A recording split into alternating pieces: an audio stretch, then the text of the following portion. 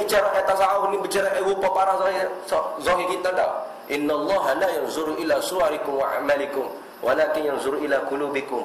Allah Taala tak tengok rupa parah rupa pakaian kamu. Allah Taala tengok hati kita. Ngerti ni Sampai tu.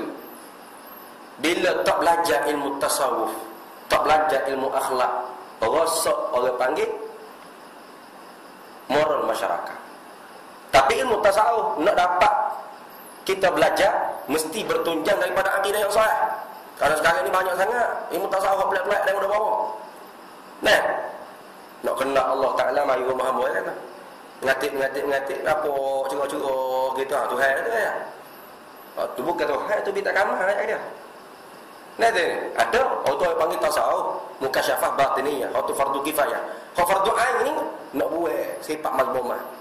Nak makan dengan sifat terpuji Tawaddu Qana'ah Zuhu Soba Ada tu ni Soba mana Oh Oh Oh ni banyak mereka Soba ke kain dah Oh Muka merah Bawah merah muka ada ni.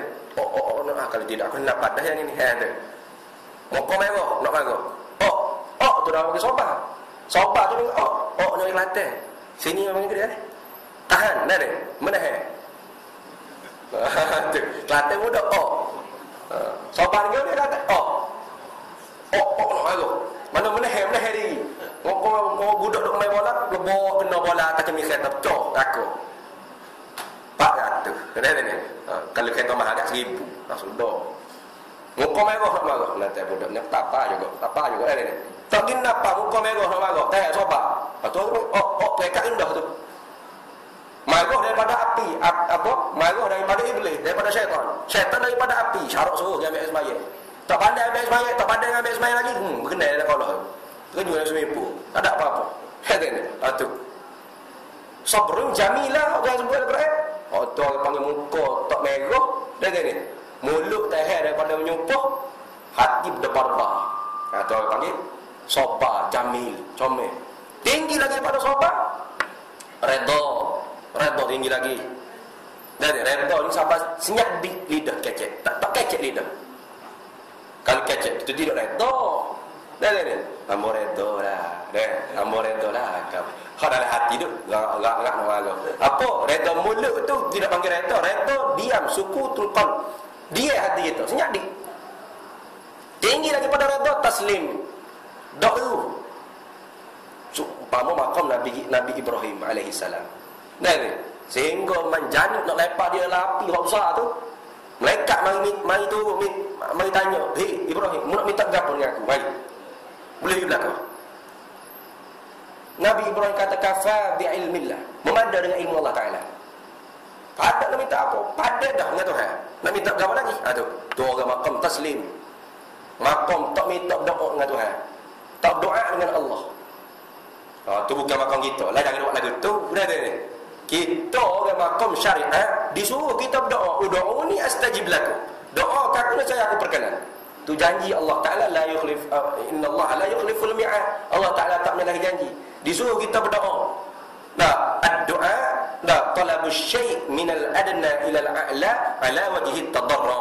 Tu panggil ta'rir doa. Tuntut daripada kita hamba kepada Tuhan di atas wajah tadarru. Tu doa. Kita sekarang banyak membaca doa, bukan berdoa. Betul berkat wali-wali Allah tutup guru pondok dah ni. Minta doa sikit dulu. Dia kat tangan senyap, tak bunyi dik senyap. Ha, selesai. Tak lama boleh jawab kita nak. Eh. Tu orang panggil mustajab doa. Kalau memang ni berdoa, kita membaca doa. Nah ni, kaya duk sore. Berapa nak tina lah. Ah, tanya di. Oh, hei, proses sudah. Oh, proses sudah baca. Alhamdulillah. Oh, sedap. apa? Oh, makmum kata aku ni, oh, sedap so. Ni bau jodoh dah. Ni bau jodoh tu email doa. Panjang lebar, belagu, beranak-anak. Tu membaca doa. Sampai kau minta kau tak ada. Kau tak dapat kerana kita membaca doa. Hak Tuhan janji nak pergi ialah berdoa. Berdoa mana tadar tak apa? Talabus syai' min al-adna ila al-a'la ala wajhi tadarra. Minta daripada kita pihak hamba kepada Allah Taala dengan wajah tadarra, merendah diri. Ah, itu orang panggil ilmu tasawuf. Dah, pak kita orang panggil kita bukan orang makam taslim, kita orang makam asbab. Berusaha. Kena berusaha. Nah, pergi kerja, cari nafkah, gapo. Baru hati bertenang. Ni kita makam asbab. Oh, berasa nak jadi tok wali. Makam tajrid dia panggil. Hamba tinggal tunggu dah dunia ni. Nak duduk atas balasah, zikir. Yang mari tu mana rezeki yang sedar. Eh dia. Ha, yang mari tu mana rezeki. Mari sore tak ajak pergi makan kedai kopi. Mari dua tak ada hola piti puluh yang gapo. Ada kiri orang sebab gitu. Ha, jadi tok siap pun tak ada tok email tak ada hola. Tunggu si sorang pun tak ada hola dah dia. Dodak, dodak lapar. Kali pergi hotel kedai kopi. Ada orang panggil minasyahwatil khafiyah. Jangan kalau kita buka makam tu jangan. Nah, kata Ibn Athaillah al-Iskandari kita hikam dia, iradatu tajridu ma'a iqamatillah iyyaka fil asbab min asyahwatil khafiyah. Munak kepada makam tajrid. Dalam keadaan Allah Ta'ala meletakkan kamu pada makam asbab. Kena usaha, kena pergi kerja. Tak, cari nafkah, naik bisnes, kau makan gaji, kau gay lah sahalah. Tiba-tiba kita, tak sih. Nak duduk gowa, nak duduk atas balasa, nak jadi wali, kena-kenanya. Tak panggil setengah daripada min asyahwatil khafiyah syahwat yang tersembunyi. Kata wali sungguh ada. Duk gua mana, duk atas bukit mana. McDonald siapa? Ada ni. Nasi kerabu. Siapa belakang dia? Oh dia wali, siapa makam dia? Kita tidak jangan kita tiru-tiru. Ha, tu orang panggil tahap Allah Ta'ala bagi kita. Ha, kita makan orang panggil makan belajar. Ha, kena belajar. Ha, tak belajar tu nak pergi syurga. Syurga. Oh sedap ke dia gitu. Belajar ni. Tak mesti lagi orang duk mengaji ni alim. Ada itu cara kata. Nah, ambo tak mengaji pun, Tuhan bagi ilmu laduni, bukan ilmu laduni, tu ilmu guning dia panggil. ilmu laduni guning. Tak dapat kita orang panggil makam asbab nak dapat harta kena usaha. Nak dapat ilmu kena belajar. Nabi SAW sebut al-fiqh apa al-ilmu bit-ta'allum wal-fiqh bit-tafaqquh. Bermula ilmu dengan belajar. Ta'allum, ta'allum bina takalluf. Nah, mesti payah. Susah. Susah mengaji ni. Bukan mudah. Mujur duduk atas kursi. Ada saya nak lengah. Kan? Ah, minta maaf. Ada kursi biasa sekarang. Dia tidak ada kursi lah. Kau kita tak sambil lelah. Ah, boleh oh, jenis isap rokok ke apa? Duduk kali kau jet dah. Setengah jet ni ustaz. Jet ni. Nak luka nak tobik. Nak tobik surat. Ada ada ni. Tapi oh sobat. Tahir juga. Dengar juga. Biar boring. Biar jemu. Lawai mujahadah juga. Kalau ada yang ngajar. Biar demai. Biar ngidung. Bunyi kopan pun ngajar pun. Ah, tahap juga, tahap juga, mengajar juga. Itu panggil bina takalluf susah payah. Balik orang mengajar, balik mengaji susah payah. Anak muda-muda okey dia. Jaga ni. Karena ilmu mesti kena ada lima rukun dan tiga syarat. Mesti ada kena ada tu guru. Dah, ilmu. Tu panggil al-farqu bainal ilmu wal ma'lumah. Beza di antara ilmu dengan maklumat ni. Dah, maklumat benda hak kita dengar. Mahta apa? Yahtamilu sidq wal kazib benda kita dengar boleh ihtimal betul boleh ihtimal salah baca YouTube pun dengar. Dah ni baca orang panggil berikut Facebook. Oh game ni. Tu orang panggil semua khabar khabar. Al khabar al ma'lumah ma yahtamilu sidq wal kazib benda boleh ihtimal betul boleh ihtimal salah kadang-kadang tunggu depan dah ni baca dengar eh iya kok kok Maksud dia lagu mana? Dah ada ni. Ha, tu. Tak ada tunggu depan dia panggil maklumah.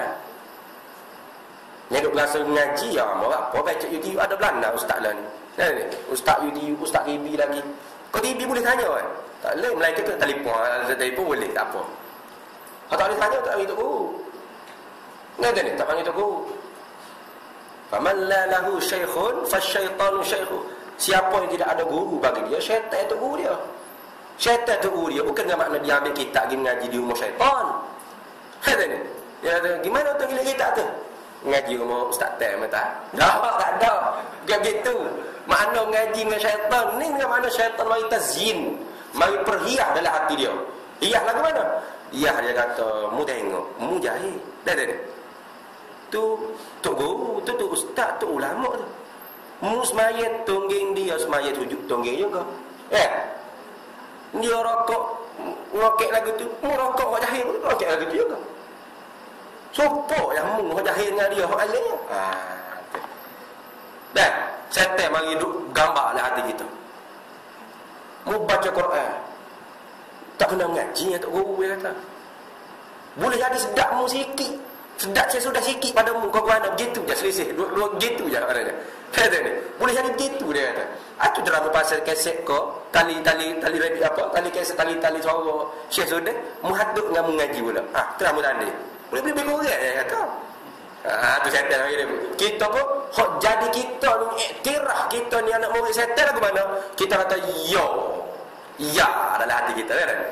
Yo betul. Ah, kita iktiraf dah. Tika itulah boleh orang panggil ijazah kita ni anak murid setan. Kedua Allah Ta'ala firman Al-Quran Hal yastawil lazina ya'lamuna wal lazina la ya'lamun Adakah sama orang yang alim dengan yang tidak alim? Tiba-tiba oleh kerana kita gurau syaitan ni kita kata ya sama. Sa'ama yahkumun saya kata. Jahat sangkaan lagi. Jahat maknanya. Tiba-tiba oh tak apa, sama ngaji orang kata. Support. Orang orang ni orang kasih khabar aku rasa cicak bodoh ya. Dah apa tengok. Yang ni tengok sama. Nah dia ni. Jangan berasa sama. Nama orang ni kecek kata, "Wak gapo ikut ulama? Ulama ada otak sekepak apa kita juga eh." Oh sudah sehingga berani benci ulama. Sedar Nabi wasallam sebutlah hadis kan. Saya khruju min ummati akhir zaman. Nah.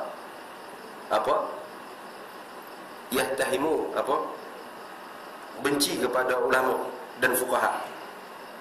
Akan keluar di kalangan umat aku di akhir zaman orang yang benci, orang yang yafirruna minal ulama wal fuqaha. Ha hadis. Benci kepada ulama dan fuqaha fayabtalihimullahu bisalasin baliyah maka Allah Taala bala di atas umat aku di akhir zaman bila benci kepada ulama dan tupekoh ni dengan tiga bala apa pertama yarfa'illahu apa yarfa'illahu barakati kasbih Allah Taala akak berkat usaha dia. Tak ada berkat dia usaha. Yang kita umat Islam dia, tak ada berkat usaha. Nah lebat dengan rebo lebat dengan menja yang macam rebo gapo semua kan ke tak ada berkat dalam usaha. Kena bayar hotel berapa ngaji anak kena bayar PT-PT misalnya lah tu. Kata ni misalnya.